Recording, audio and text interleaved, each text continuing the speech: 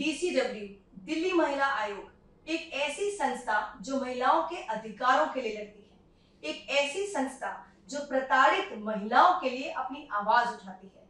बीते रात भारतीय जनता पार्टी की महिला विरोधी मानसिकता देखने को मिली। पिछले तीस सालों से काम करने वाले स्टाफ को एक झटके में निकाल दिया गया। वो महिलाएँ जो एसिड अटैक सर्वाइवर्स हैं, वो महिलाएँ जो रेप सर्वाइवर्स हैं वो महिलाएँ जो सिंगल मदर्स हैं, जिनका घर डीसीडब्ल्यू से मिलने वाली तनख्वाह से चलता था।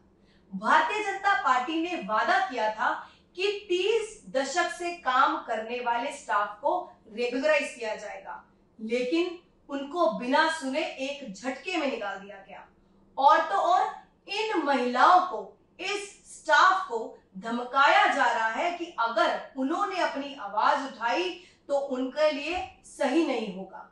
वो महिलाएँ जिन्होंने दिल्ली नहीं, बल्कि पूरे देश में हज़ारों महिलाओं के लिए अपनी आवाज़ उठाई, आज उन महिलाओं की आवाज़ को दबाया जा रहा है। इस बार दिवाली है और हर घर में दिए जलेंगे, लेकिन इन महिलाओं की, इस डीसीडब्ल्यू के स्टाफ की काली दिवाली रहेगी। सबके घर में दिए जलेंगे बट इन महिलाओं के घर में अंधेरा रहेगा। इन सभी स्टाफ को रेगुलराइज करने की प्रक्रिया शुरू कर दी गई थी। मैं डीसीडब्ल्यू को अपील करती हूँ कि इस पूरे स्टाफ को दोबारा से नौकरी पर रखा जाए और इनके अधिकार को ना छीना जाए।